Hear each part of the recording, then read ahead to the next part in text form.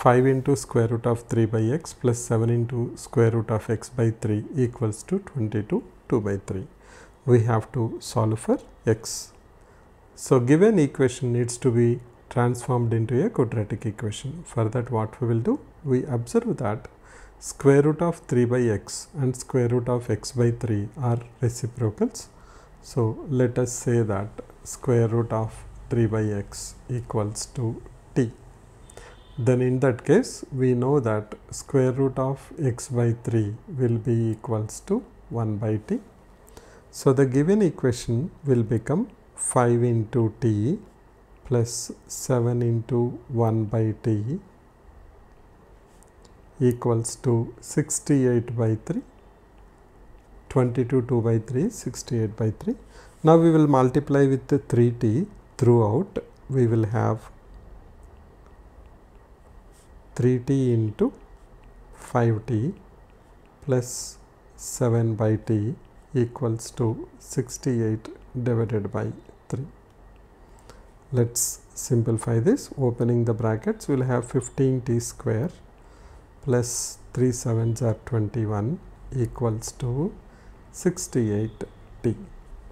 Now we have a quadratic equation in our hands 15t square minus 68t plus 21 equals to 0.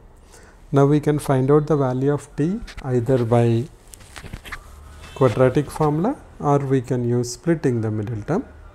For now we will use splitting the middle terms and we will write down sum equals to minus 68 product equals to 15 into 21 which can be written as 5 into 63. So, then we have 15t square minus 5t minus 63t plus 21 equals to 0. Can we take 5t common? 5t into 3t minus 1 minus 21 into 3t minus 1 equals to 0 or we have 5t minus 21 multiply with 3t minus 1 equals to 0 that will give us 5t equals to 21 or 3t equals to 1. Now, let us write down what are the values of t we are getting t equals to 1 by 3 or t equals to 21 divided by 5.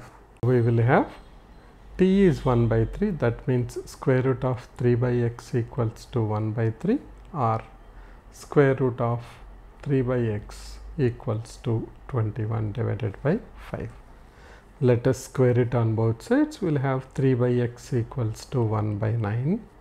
Squaring on both sides sobs.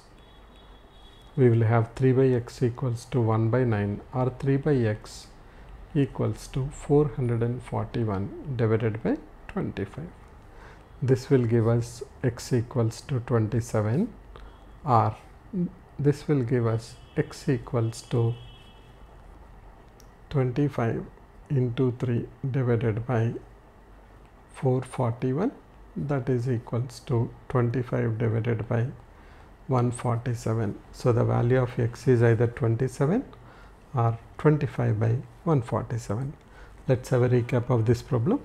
We have been given 5 into square root of 3 by x plus 7 into square root of x by 3 equals to 22 2 by 3. We have to solve for x.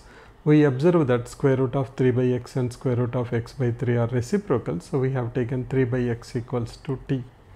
Square root of 3 by x equals to t then we have 5t plus 7 by t equals to 68 by 3. We got a quadratic equation. We solved it in t. We found out t equals to 1 by 3 or 21 by 5.